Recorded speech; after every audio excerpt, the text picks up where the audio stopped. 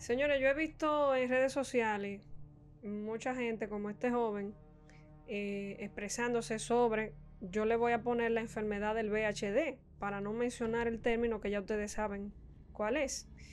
Entonces, vamos a ver esta información que este joven viene y tira aquí en este videito. Rumbo a los 100.000 casos de VIH en República Dominicana. Y ustedes siguen enjuagando eso así, sin suavitel, sin miedo al éxito. Que no es lo mismo. Yo estoy consciente de eso, pero yo prefiero otra zanahoria. Otra opción, mucho mejor aún. Usted encamina a esa gente de la mano y le dice, ven, vamos allí, vamos a Madita. Son 600 pesos una prueba de VIH. ¿Estamos ready los dos? Pues vamos al más que más, que como diría mi suegro. No es mejor así, digo yo. En vista de esta situación, de este problema que hay, de esta, de la enfermedad del VHD, lo que le quiero decir es que aquí se están jugando con una candelita. ¿Por qué? Vamos a poner ahí una foto de que en, en la Altagracia, en Higüey, eh, se salieron al aire más de 3.000 casos de gente con VHD. Y a mí me gustaría que usted se ponga a indagar porque el joven dice que vamos para 100.000 casos. Pero aquí se están dando dos vertientes y es que el VHD de donde se expande para el mundo y lo puede buscar en Google, lo puede buscar en el internet, es desde el vecino país. Lo que sucede es que aquí todo el mundo cree que todo el que viene de aquel lado viene para acá a trabajar, porque eso es lo que le han vendido, los pobrecitos que vienen para acá a trabajar y tal. Pero esa gente tiene problemas en su proceso de relacionarse sexualmente, que no hay ningún tipo de protección, ningún tipo de cuidado. Y ese problema de aquel lado, para que ustedes sepan, aquí, aquí, hay 14 centros de asistencia para los vecinos con la enfermedad del VHD. Le puse VHD para ustedes saben que no le hagan lo que saben las redes hacerle a los videos. Entonces, si un dominicano va a uno de esos centros porque no tiene dinero para que le den el tratamiento de la enfermedad del VHD, usted sabía que no le van a dar asistencia. Esos centros que hay aquí en República Dominicana de asistencia para el VHD solamente son para los vecinos, porque esos centros están auspiciados por organismos internacionales solamente para asistirlo a ellos. Lo que quiere decir que si usted dominicano es de casos recursos y usted se, se contagió con el VHD y usted va a uno de esos centros para que a usted le den tratamiento gratuito, a usted no le van a dar tratamiento gratuito, usted se va a morir porque esos centros de asistencia están aquí para ellos. Y ellos son muy cuidadosos con su manejo interno que tienen de eso. A mí, pero ya diré, ¿de dónde tú sacaste esa información? Esa información me lo dio a mí un médico general, amigo mío. Que le pasó con un caso de una persona que fue a, a llevarla para, al centro para que le dieran la asistencia y le dijeron en el centro que esa asistencia no era para dominicanos. Que esa asistencia de ese tratamiento, de ese tratamiento de, ese problema inmunológico era para los vecinos.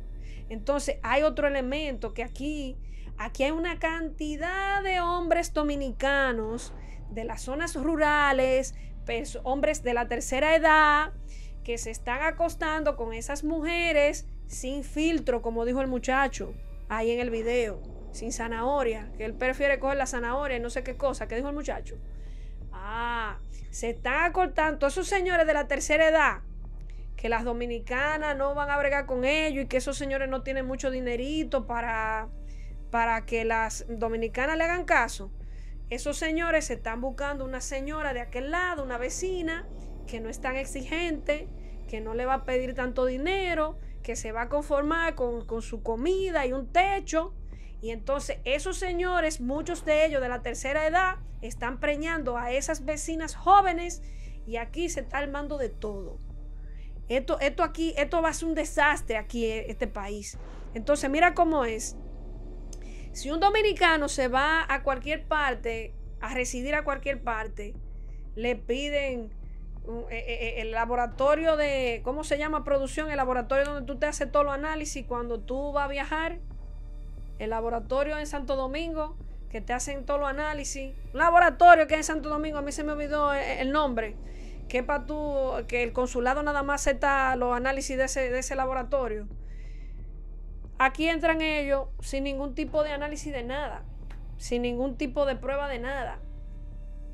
Entonces aquí, aquí nadie, nadie está haciendo absolutamente nada.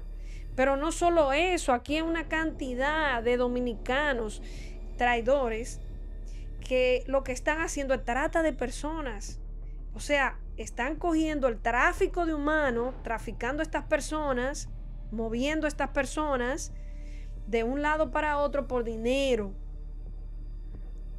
Están trayendo niños, niños menores, cruzan los niños menores de que con los papás sin ser los papás. Esto no se sabe dónde va a terminar. Pero volviendo al tema de, del, del, del, del VHD, ¿usted sabe cuál es el problema más grande con ese tema? El problema más grande de ese tema es que a lo mejor en la primera dos salidas se ponen el gorrito porque están en confianza. Y a la tercera ya no hay gorrito. Entonces no se va a poder. Va a tener que mandarle a hacer el análisis a la gente.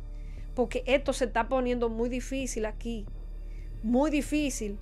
Entonces te están diciendo que hay 28 mil de ellos que están con el problema y que supuestamente hay 50 mil dominicanos que tienen el virus. Pero eso no es así.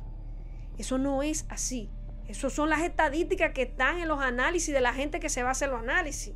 Ah, pero tampoco me han analizado lo siguiente. Que en, la, en los punchoncitos esos que andaban poniéndole a todo el mundo de manera obligatoria, ahí habían punchoncitos que estaban premiados con virus. Con virus de toda clase. Papiloma, VHD, hepatitis C, B, D, H, todo. Ahí, esa, esa, esos punchoncitos tenían de todo ahí. Y la gente tuvo la confianza de ponerse toda esa vaina.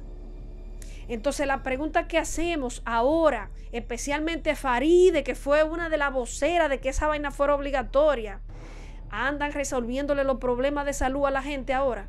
Porque todo el que quería que se puncharan de manera obligatoria, tienen que ser los primeros que tienen que estar comprándole medicina a todo el que está enfermo de eso. Todo el que estaba obligando a la gente, que era obligado, que había que ponérselo. Entonces, si tú te enfermas, pues obligado que tú me tienes que atender ahora. Pues obligado que tú me tienes que comprar la medicina ahora. Porque ustedes obligaron a la gente a ponerse eso.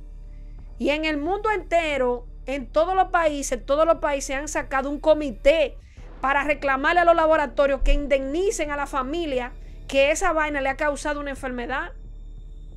Aquí nadie, nadie, nadie, no hemos escuchado un solo legislador decir que va a crear un comité para demandar a los, a los laboratorios. No hay una sola persona que diga vamos, vamos a hacer una comisión y vamos a demandar a los laboratorios. No, porque ellos, ellos estaban en complicidad. Ellos están en complicidad de la reducción de la población. Ellos están en complicidad de que la gente se enferme. Y si ustedes no despiertan, créanme que esa gente la van a matar porque esa gente son despiadadas, esa gente son inhumanas. Y esa situación de todos esos vecinos aquí, eso no va a terminar bien para este país.